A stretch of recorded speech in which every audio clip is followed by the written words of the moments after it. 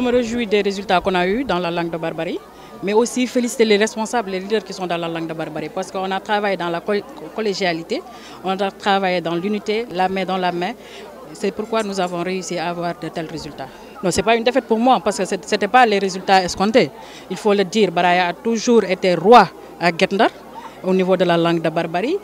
Euh, euh, avant, en 2014, il nous avait devancé de plus de 1000 voix. Aujourd'hui, on est à 300, il est à 308 voix. Donc, je pense qu'aujourd'hui, c'est nous qui avons gagné Braya. Braya a perdu du terrain, beaucoup même, il en a, il en a perdu. Donc, il suffit juste de faire un peu d'effort. Et il faut aussi noter que personne n'a été investi au niveau de la coalition Benobok Yakar à Kendal. Il était le seul à être investi sur les listes au niveau de la langue de Barbarie. Ça aussi, ça a joué un peu euh, de manière négative sur, sur sur notre coalition. Mais heureusement, les populations guendariennes, les populations de la langue barbarie ont compris qu'ils ont besoin de, de, de, la coalition Beno Bok Yakar et que les leaders de cette coalition étaient sur le terrain, ils ont travaillé avec eux et les résultats en ont, en ont, en ont fait.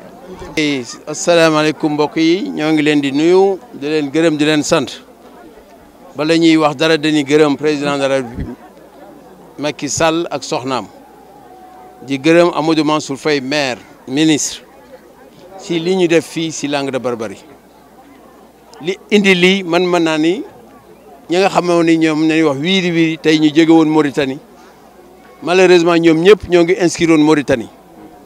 donc ñoom ñëpp képp kuy ñëw indaale woo carte da ngay indaale récépissé te récépissé ñoo ngi leen inscrire woon Mauritanie donc voté wuñu ñooñu tey bu ñu voté woon seetal tey li président def si teraanga si langue de barbarie. 129 familles ku nekk mu jox la 461 moteurs ku nekk ñu jox xoolal loolu rek muy 1000. millions yi tey bu ñu ñëwoon dugalaat si biir bi xam nga kenn du waxati waxu ay trois ay trois cent trois cent voix donc loolu lu am solo la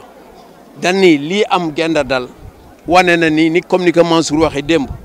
wane na ni ni Ahmed sunu mbokk la sunu yëpp mais waa Langue de Barbarie wan nañ ko ginnaaw